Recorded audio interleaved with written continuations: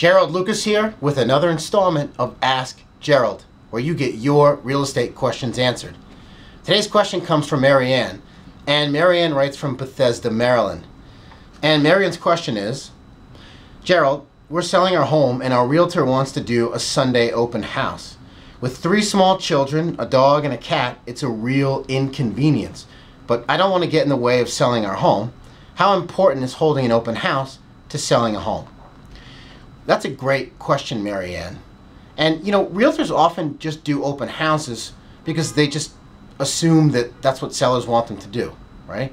Or they may buy into the misguided conventional wisdom that open houses are effective, right? So if everyone else is doing them, they must work.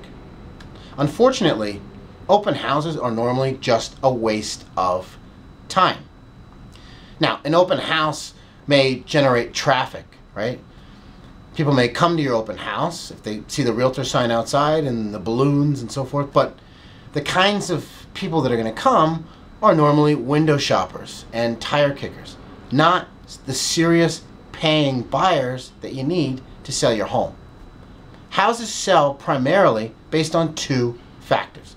The first being the buyer's preference, and the second being the buyer's budget.